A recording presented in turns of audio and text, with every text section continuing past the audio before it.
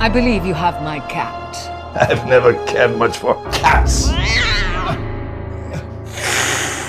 With the darkness round me growing, and the moon behind my hat, you will soon have trouble knowing which is which and which is cat.